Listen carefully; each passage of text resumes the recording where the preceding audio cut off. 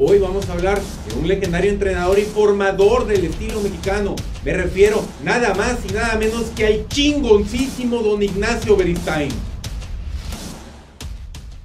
Un 31 de julio de 1939 nace Ignacio Beristain Rocha en el pueblo de Actopán, Veracruz, donde se enamoraría del boxeo desde niño. Comenzó su carrera como aficionado en la división de peso mosca para posteriormente volverse profesional. Su incursión fue corta puesto que se vio obligado a retirarse prematuramente en 1959 debido a una lesión ocular, pero colgar los guantes iba a derivar en la más brillante trayectoria que un entrenador mexicano haya forjado. Al principio Beristain se concentraría en entrenar a boxeadores amateurs.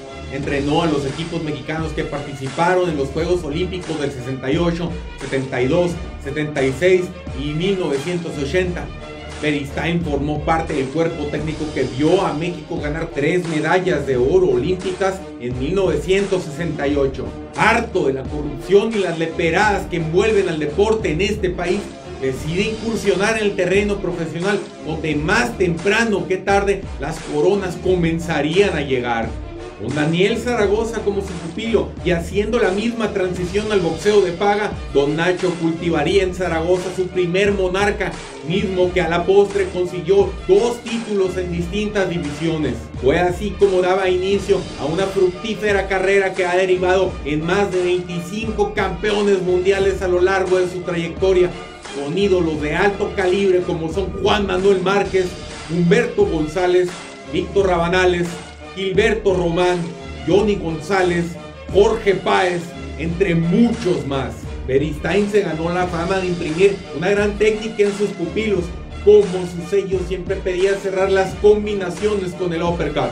El reconocido entrenador mexicano realizaba un trabajo que llevó a muchos boxeadores extranjeros al romanza. Tras cientos de arenas y miles de peleas en la esquina, en el año 2011, Ignacio Beristain Rocha fue inducido como miembro del Salón de la Fama Internacional al lado de grandes figuras como Mike Tyson, Sylvester Stallone, Julio César Chávez, Hostia Sioux y Joe Cortés.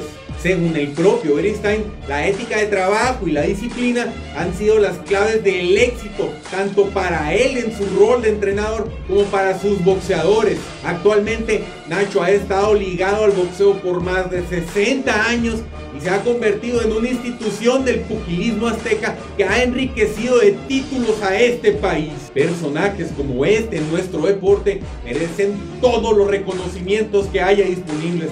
Es por ello que dedico este homenaje a un grande entre los grandes, don Ignacio Beristain Rocha. Comparte esta pieza por donde quieras y únete al reconocimiento de GDP con el mejor contenido de boxeo libra por libra.